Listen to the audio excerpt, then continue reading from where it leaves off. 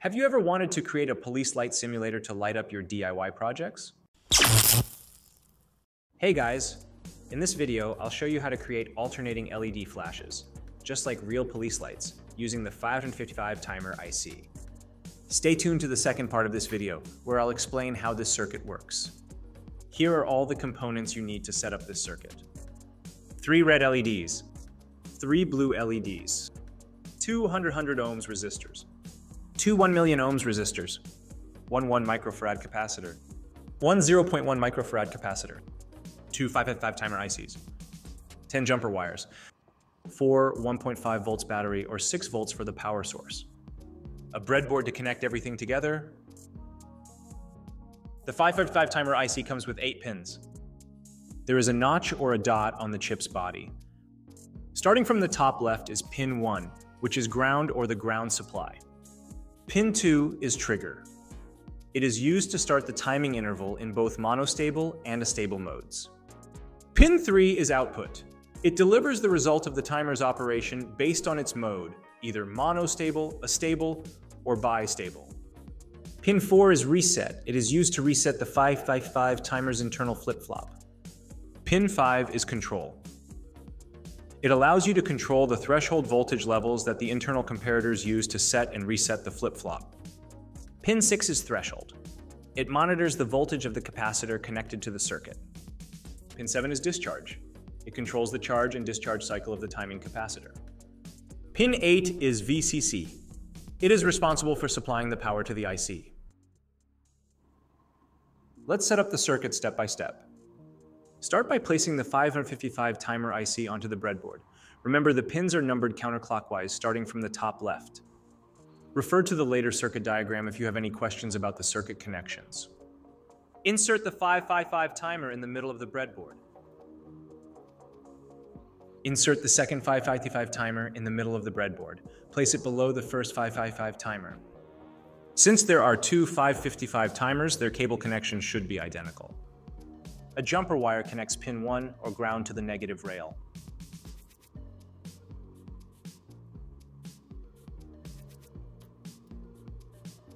Do the same on the second 555 timer.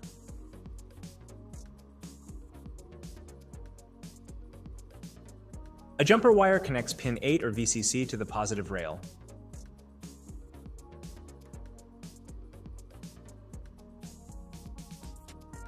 Do the same on the second 555 timer.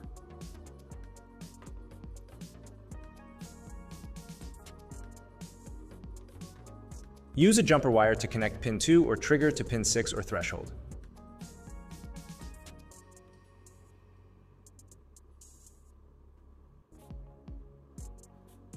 Do the same on the second 555 timer.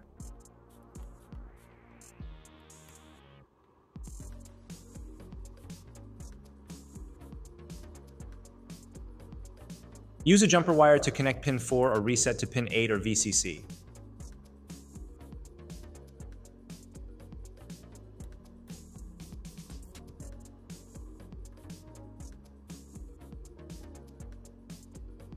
Do the same on the second 555 timer.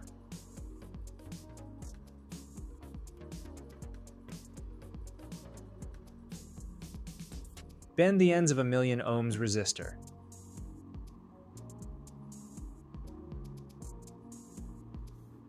Insert a million ohms resistor to pin 3 or output and pin 6 or threshold.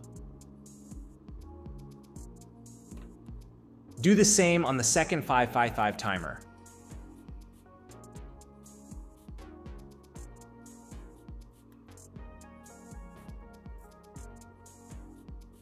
Turn the breadboard to the side. Connect a jumper wire from the left side of the breadboard to pin 3 or output on the second 555 timer.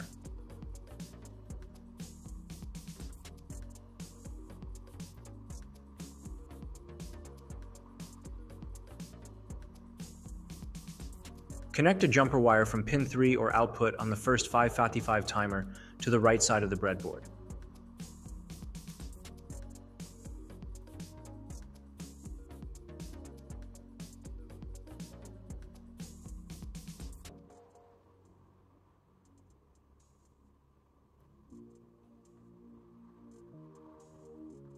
Bend the ends of a 100 ohms resistor.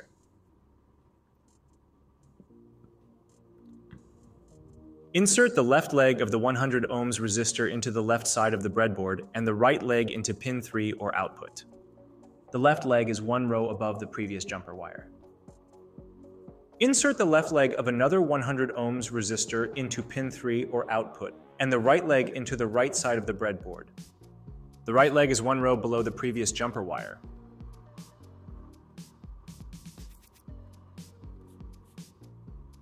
Insert a red LED in the same rows as the previous resistor and jumper wire. The positive or longer leg is on the right side.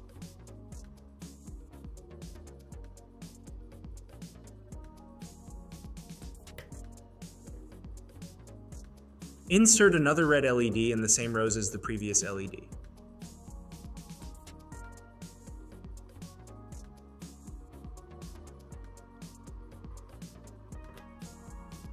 Insert a third red LED in the same rows as the previous LED.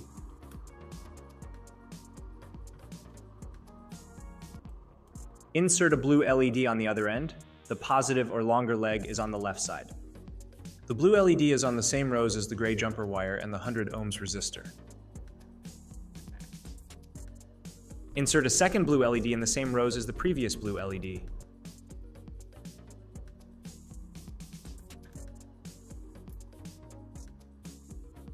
Insert a third blue LED in the same rows as the previous LED.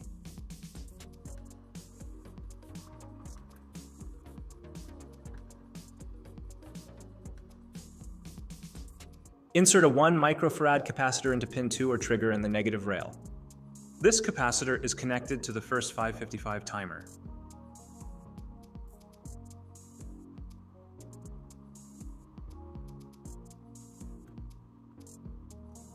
Insert a 0.1 microfarad capacitor into pin 2 or trigger and the negative rail.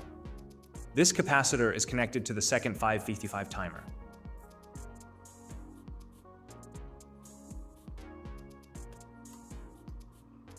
Turn the breadboard to the vertical position. It's time to connect the power supply. Connect the negative lead of the battery holder to the negative rail.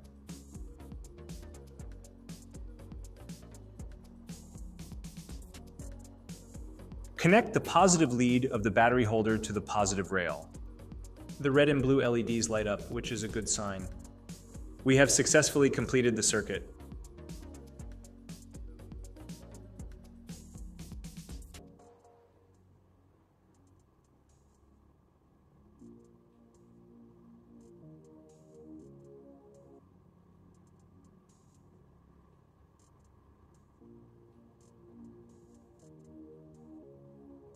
Let's break down the circuit step by step. Here we have two 555 timers, each configured in astable mode. Timer 1 controls the red LEDs, while timer 2 controls the blue LEDs. The resistors and capacitors set the timing interval for each timer. Pin 3, the output of timer 1, drives the red LEDs. When the output is high, the LEDs light up. Similarly, timer 2's output on pin 3 drives the blue LEDs. Both timers share the same power supply, connected to pin 8 for VCC and pin 1 for ground. The alternating on-off pattern is achieved by the square wave outputs of the timers, giving us that classic police light effect. I hope this video has shown you how to make LED police lights with 555 timer ICs. If you found this video helpful, give it a thumbs up, consider subscribing for more electronics tips and tutorials, and hit the bell icon to never miss an update. Thanks for watching, and I'll see you in the next video.